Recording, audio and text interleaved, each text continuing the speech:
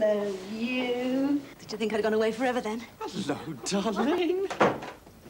How long have you been back? Oh, about ten seconds. How did you get by without me then? Ooh, I managed. Oh, yeah. What